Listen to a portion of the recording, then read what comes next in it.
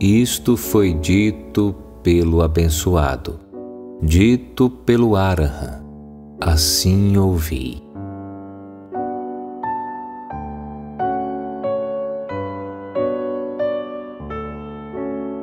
Bicos, brahmanes e chefes de família lhes proporcionam grande ajuda, provendo-os com as necessidades de mantos, comida esmolada, moradias e medicamentos.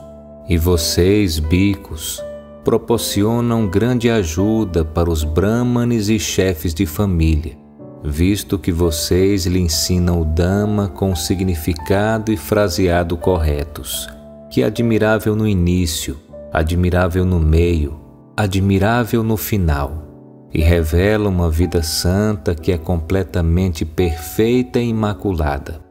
Dessa forma, a vida santa é vivida em dependência mútua, com o objetivo de cruzar a torrente para dar fim ao sofrimento. Chefes de família e os bicos em dependência mútua. Ambos realizam o verdadeiro Dhamma, a insuperável segurança contra o cativeiro.